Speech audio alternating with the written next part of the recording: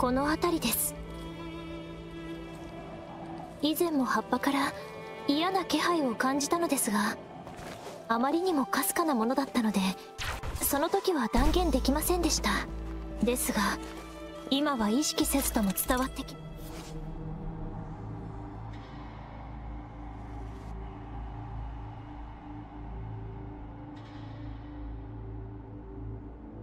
ですが今は意識せずとも伝わってきます。この場所にあふれるサンクや憎悪の感情はとても強い漂白者さん。ここには何かおぞましい過去があるはずです。まずは無音区の中の残像を片付けましょう。気をつけてください。高く舞い上がれ。行くよ。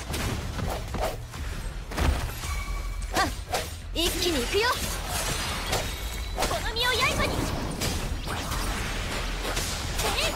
え加速します。私の出番のようだね。火力全開。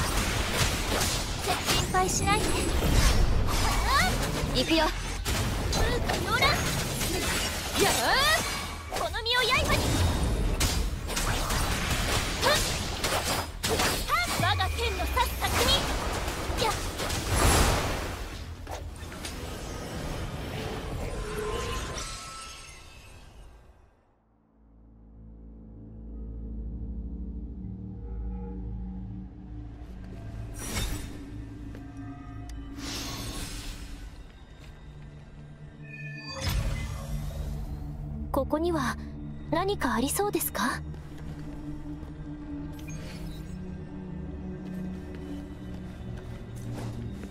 行こ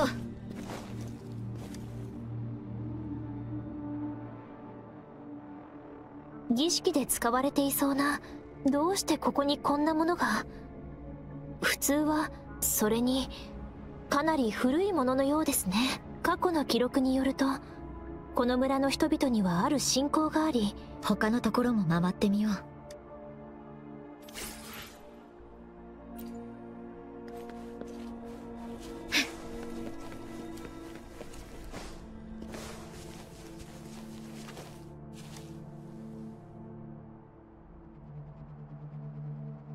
あ気をつけてください。攻撃してこないですね。お兄ちゃん。助けて。お兄ちゃん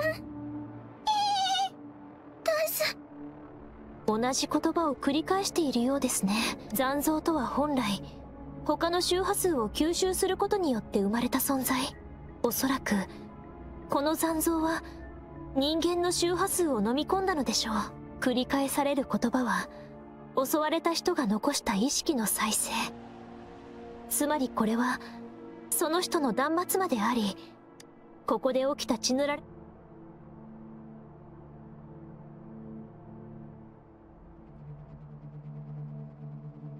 ごめんなさいいえそういうわけではないのですがとても複雑な感情を感じ取りました漂白者さん。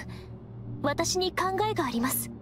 私には救済を切望する声にあの残像の悲鳴。そしてこの村の悲鳴が聞こえました。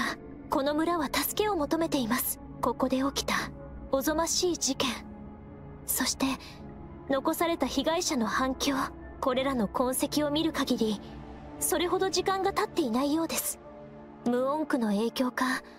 ある人為的な介入なのかは分かりませんがこの出来事はまだ表沙汰にされていないようです。私は今私たちにしかできないことをすべきだと思います。被害者がまだこの場所にいるかもしれません。この状況は歯科にも伝えます。ですがすみません。根拠のない主観的な意見で。ありがとうございます漂白者さん。この子はここにいさせてあげましょう。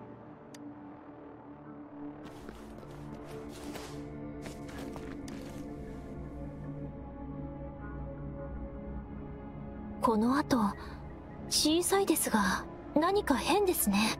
見てください。ここ。大量の足跡があります。ここで何かしらの争いが起きそして負傷。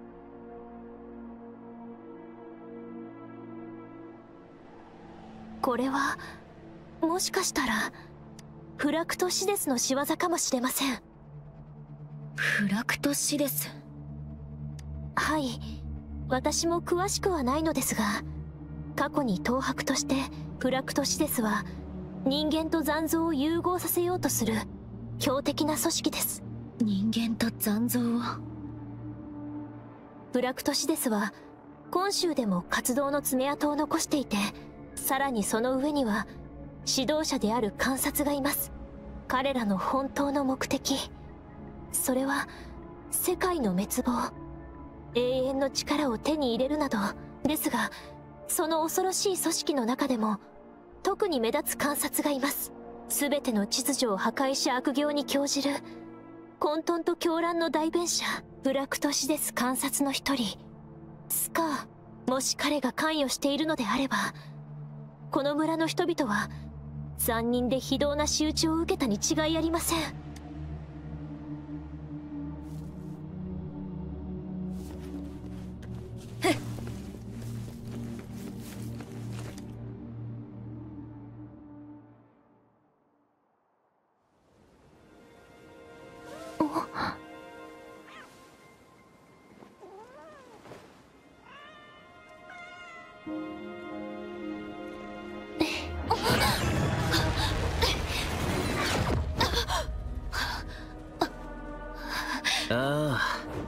せっかく用意した自己紹介が台無しになっ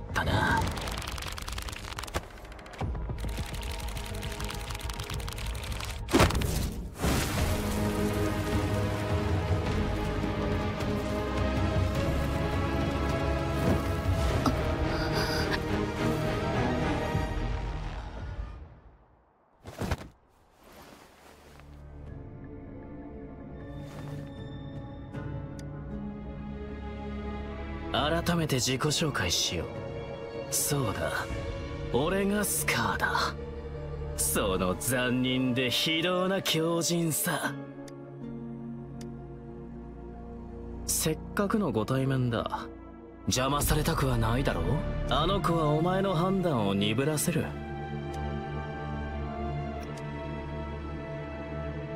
そんなにあの子のことが気になるのか？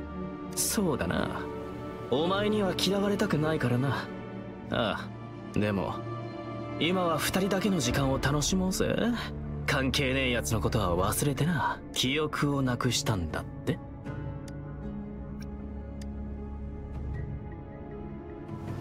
ああそうだ。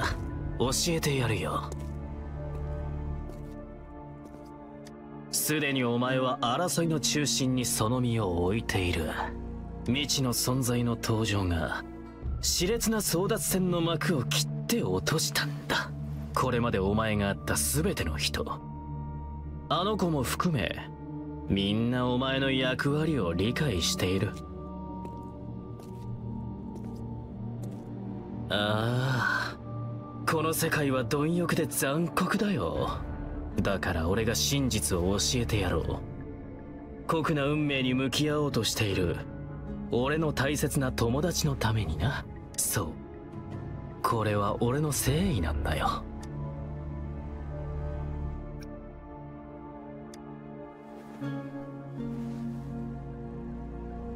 ではお前の選択を楽しみにするとしよう。俺の目的は至って単純。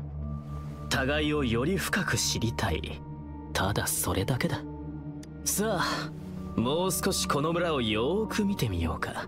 世界を知れば知るほどお前が何を選ぶべきかおのずと明白になる。それまでは貴重な二人きりの時間に邪魔が入ってくるのは嫌だからな。おいおい勝手に犯人扱いするなって。この村に何があったって聞きたいのか？直接は教えられない。そんなことをしたら興ざめだ。それに言っただろう。ほら言ってみろ。何を見た？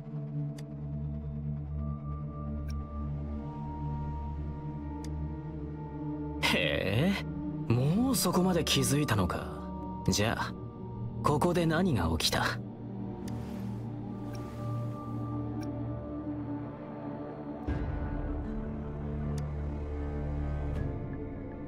よくある話だな。無垢な小ヤギ邪悪な狼の群れ。はっきりと分かれる善と悪。だが現実はそんなおとぎ話みたいなとこじゃないんだ。では重要な手がかりを教えてあげよう。この村の事件はそう単純なものじゃない。この物語の登場人物は無垢な少女。人望高い村長。そして純朴で善良な村人たち。筋書きは愚かな崇拝。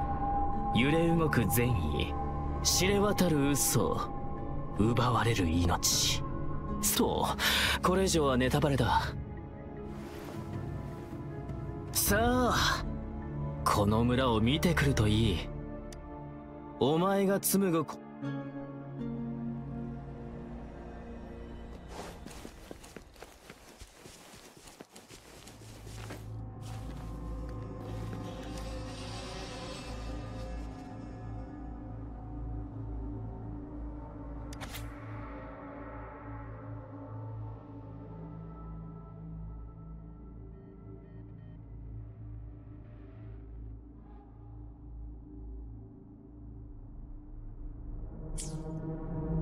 これが物語の始まり。村には自由で幸せな子ヤギの群れがいました。夕方になると子ヤギたちは集まり狼に見つからないように身を隠していました。人はおとぎ話から教訓を学びそして伝えようとする。だがこういった話は大抵それに同じ話でも語り手が違えば聞き手が理解する物語はあまたあるバージョンの一つに過ぎないんだよ。まるで今の俺たちにそっくりだろこの村は俺と今週の因縁の始まりなんだ。お前を導いてくれた霊院に感謝しないといけないな。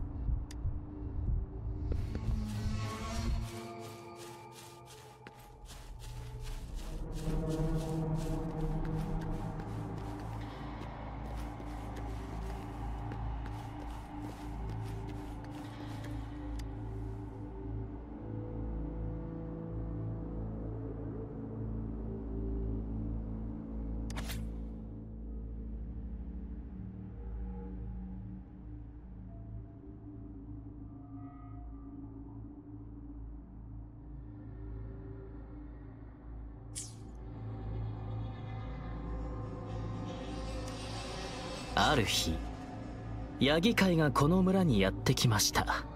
ヤギ会は子ヤギたちに食べ物と隠れ家を与え子ヤギたちの願いを叶えてくれました。そうか。そんなに続きが気になるか。ヤギ会は子ヤギたちが欲しいものを全て与えてくれました。子ヤギたちはヤギ界に尻尾を振ることによって対価を必要としない。無限の資源と完璧な生活をこうしてヤギ界は子ヤギたちの神となりました。小屋どうした？顔色が悪いぞ。でもお前ならこんな誘惑に負けず上位者に頭を下げ懇願するなんてしないよな。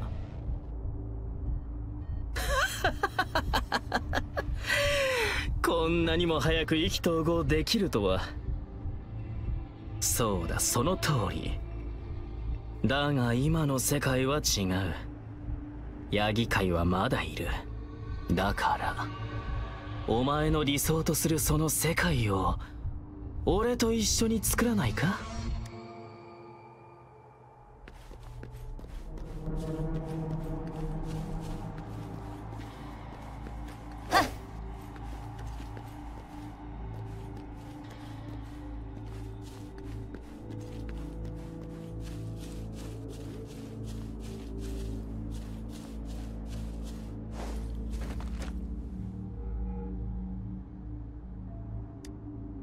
小ヤギたちは日夜火を囲んでパーティーを開きヤギ会を歓迎しました。そしてある夜その黒ヤギは気づきました。小ヤギの数が日に日に減っていると漂白者。この世に対価なしに叶う願いがあると思うか？昔の俺もそう思っていた。十分な対価があれば必ず報われるってな。だが違った。真の10日交換など存在しない。世界は最初から不公平だ。報われたいのならもっともっと対価が必要だ。願いを叶えるために重い対価が必要なのであれば。だがもし他人がその対価を払うのなら誰もがこぞって願いを叶えようとするだろう。面白いだろ？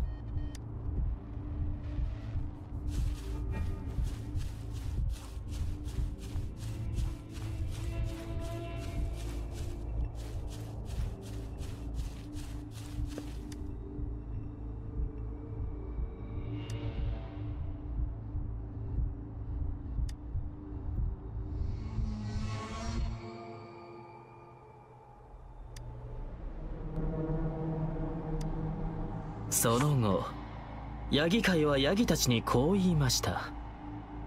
ヤギの数が減った理由は最終的に可愛い子ヤギたちはいつも通りの朝を迎えました。そう。ヤギ界が作った新しいルールを黒ヤギは破ってしまったのです。こうして隠された真相が明らかになりヤギ界が子ヤギたちの願いを叶えることも黒ヤギがしたことを見てヤギ界の権威的な言葉を聞いてこれが自分たちのそばに何よりも恐ろしい悪魔がいることを知らずにいた。哀れ。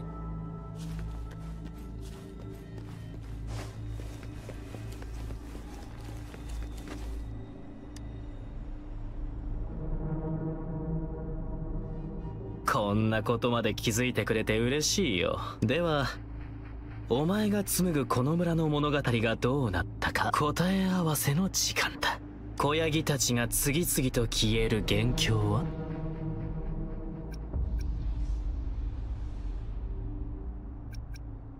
ああ。確かに元凶はヤギ界だ。ヤギ界に願いを叶えてもらった小ヤギ。彼らはその対価について何も知らなかったわけじゃない。だが残念なことに小ヤギたちは誘惑を目の前にして盲目になった。彼らはもしやり直せる機会を得たとしても小ヤギたちはただ受け入れることしかできない。それじゃあ二つ目の質問だ。願いを叶えるための対価とは？果たして命より大事なものなどあるだろうか？最後の質問だ。黒ヤギはどうなった？いや今は答えなくていい漂白者。真実とは？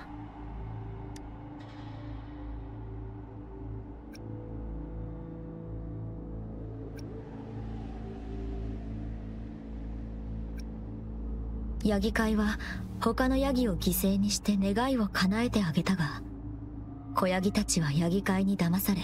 半分は合ってるかな子ヤギたちは村の中で互いに助け合いながら狼から隠れて暮らしていました。ところが村にやってきたヤギ界は子ヤギたちの願いを叶え食べ物と安全な住処を与えてくれました。そうして子ヤギたちは幸福で安定した生活を手に入れヤギ界は子ヤギたちを支配するようになりました。そうこれが物語の始まり。ヤギ界は唯一の黒ヤギを見つけ言いました。あなたの願いを叶える。しかしその対価として他の子が必要だと。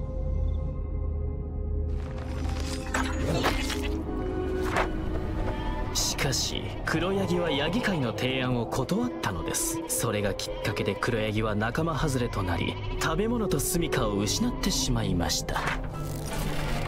それだけでなく仲間の子ヤギが次々と消えていくのです。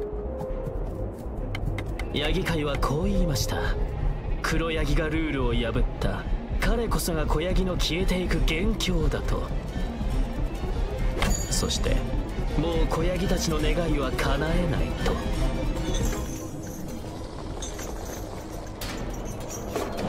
全ての子ヤギは何食わぬ顔で自分の願いを叶えてもらいながらも自分自身が対価になる可能性があるととっくに知っていました。しかし子ヤギたちはみんな自分だけは対価に選ばれないとずっと思っています。それと同時に自分がすでに対価になるリスクを背負っているのならいっそのこと自分の願いを叶えるために他のヤギたちも同じリスクを背負うべきだと考える子ヤギもいました。心では分かっているのに誰も口にしなかったのです。恐れながらも飽くことのない欲と新たな願いを叶えるために何度も何度もヤギ界のルールに従いました。被害者加害者を延々と生み出し作られた素晴らしい平和それが黒ヤギによって壊されるまで。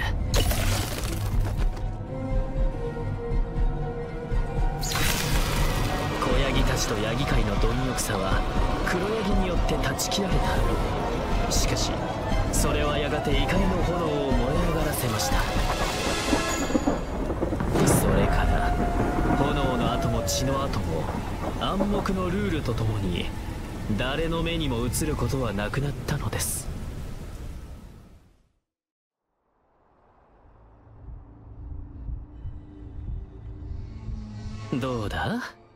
なかなかいい物語だろ？お前もこれで。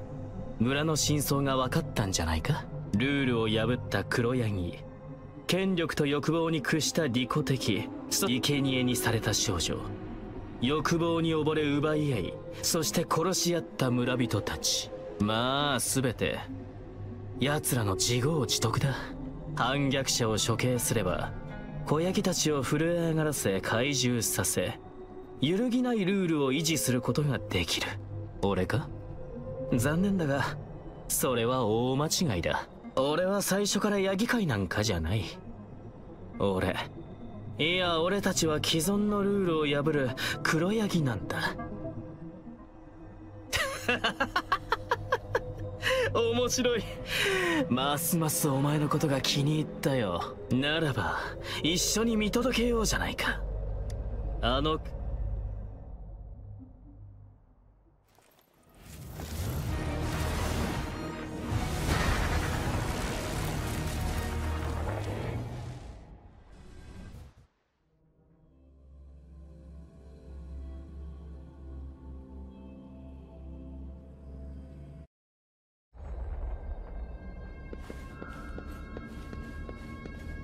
果てしない混沌。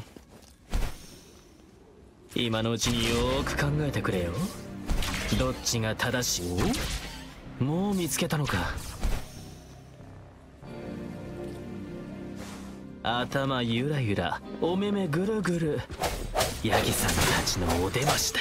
ヤギさん夫婦は黒いの白いの花柄がお揃い。気をつけろよ。足元に倒れた先人を踏まないようにな。せいぜい奴らと正しい道を進めばそう急ぐな。落ちれば粉々になっちまう。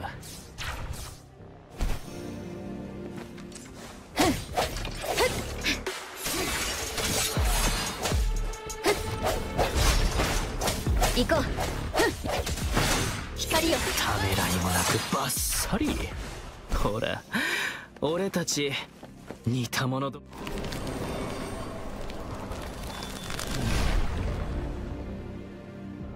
ルールを作る側のヤギ界とルールを破る黒ヤギどっち？強靭の集団の中にいるただ一人の正常者。お前にとって彼は正常か？それともただの異端者か考えてみろ。ヤギ界は世界の断りじゃない奴がいなくなれば世界は黒ヤギを受け入れてくれる。加害者と被害者のカテゴリーをなくすことができる。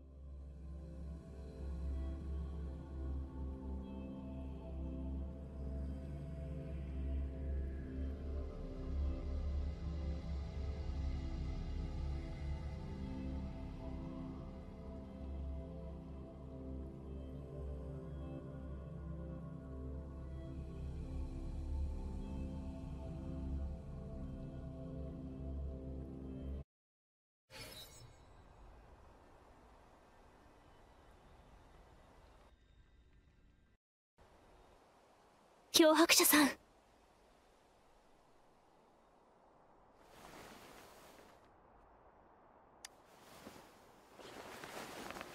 スカーの元凶を破りました。これで少しは。手加減してくれて。どうもありがとう。脅迫者さんに近づかないで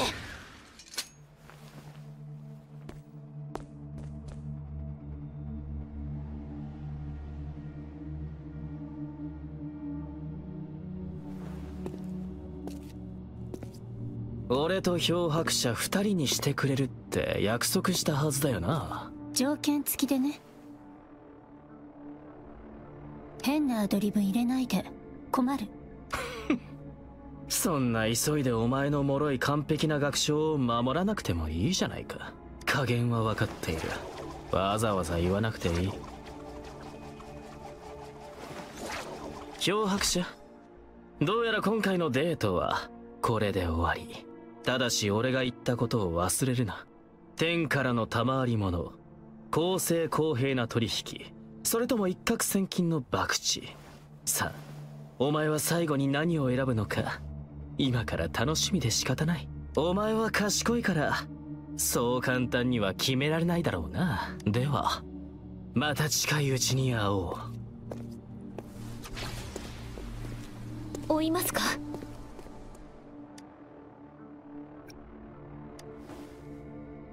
私は大丈夫です。スカーは空間テレポートと異空間を生成する能力を持っているようですね。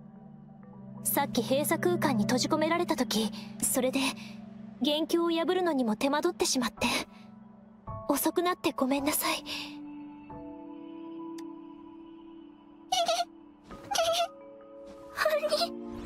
お兄ちゃん。えどうしてここに？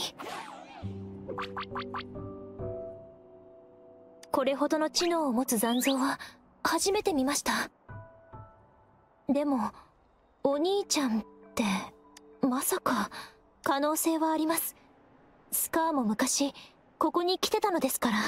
それより脅迫者さん私が来るまでに何があったのですか？吉村で起きた惨劇の真相どうやらあの儀式と深く関連しているようですね。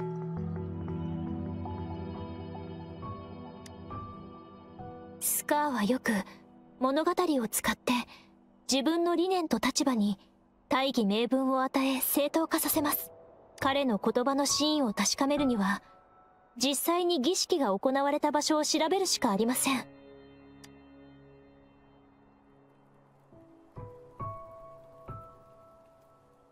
あれ？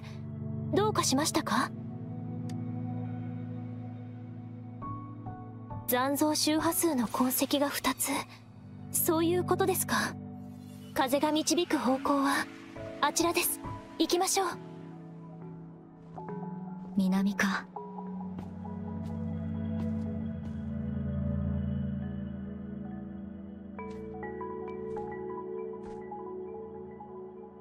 はい。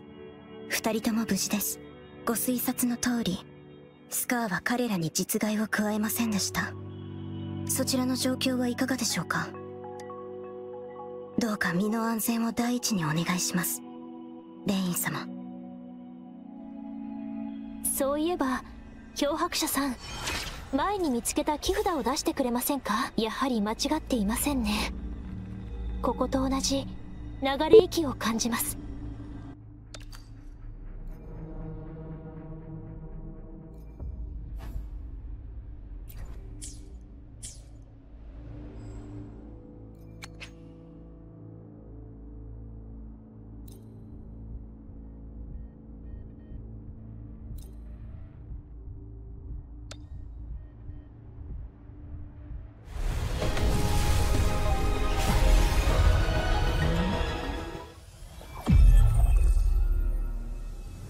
欲をなくせば心は自然と静まる。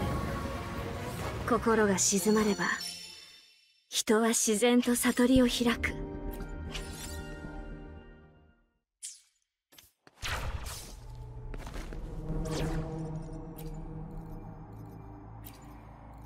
強い相手を求めて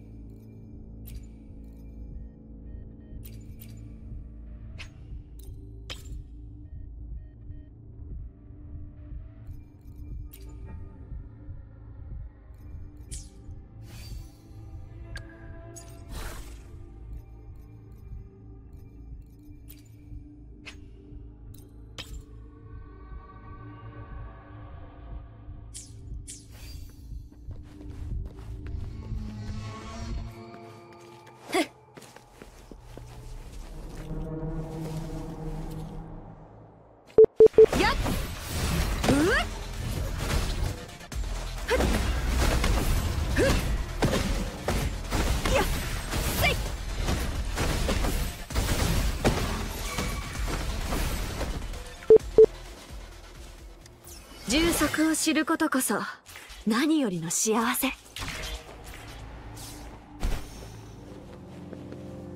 木札の残り半分。ここに置け。木札の残り半分。ここに置けるのだろうか。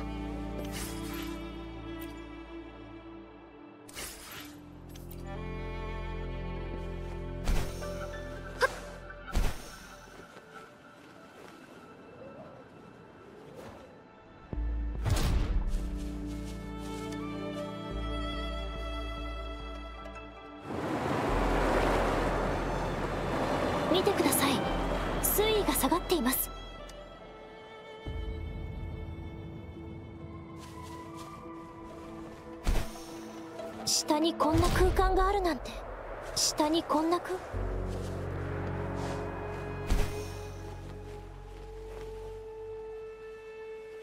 下にこんな空間があるなんて。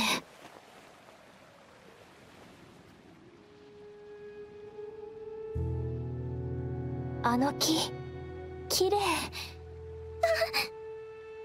助けて。私たちに何か伝えようとしている。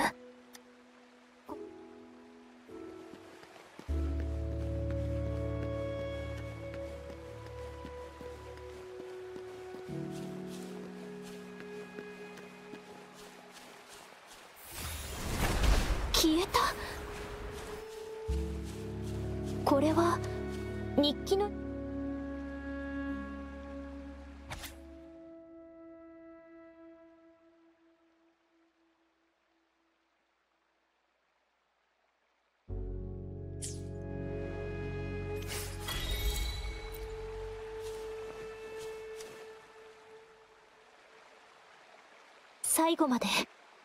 あの女の子はでも誰かの犠牲によって言葉を繰り返す残像もあの女の子の願いを伝えるためにあの漂白者さん少し寒くなってきましたね。帰りましょう。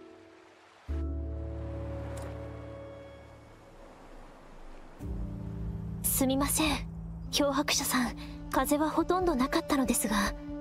それでもたくさんの時間を超えた感情や思いが期待憎悪絶望そしてあの日記が綴っている悲しみと思い日記の主は何を思っていたのでしょうか。過去の平穏な暮らしそれとも自分の家族すみません。考え込んでしまいました。今後こんな惨劇はもう起きない。私にはそう断言する自信もこれも私が東博に加入した理由の一つ。このような惨劇を阻止できるようこの世界の悲鳴を阻止することはできません。でもありがとうございます。今日もう起きてしまったことを引きずったり嘆いたりするのはよくありません。では帰りましょうか。一緒に。